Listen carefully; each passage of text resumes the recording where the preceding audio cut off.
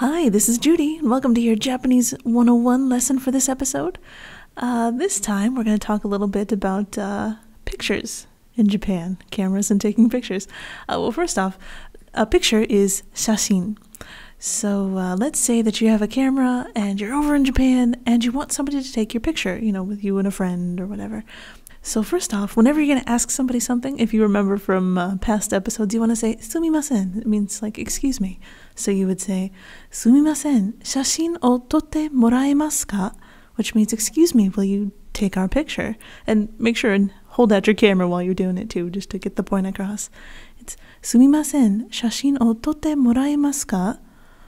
But say that uh, you want to take a picture of someone or something and you want to ask permission. It's a little bit different then. You would say, Sumimasen, shashin o totte mo ii desu ka? Excuse me, can I take your picture? Sumimasen, shashin o totte mo ii desu ka? So when you're about to take somebody's picture and you want them to smile, you can either say waratte, which means smile, or uh, you can, you know, same as in English, you can say hi cheese, you know, say cheese. It's exactly the same no matter where you go. And if you want to compliment the person after the picture is taken, then all you need to say is ii desu ne, which means boy, that's really good. so there you go. There's all your picture taking vocabulary for Japan. So good luck, happy photo taking, and until next time, keep studying. Mata ne.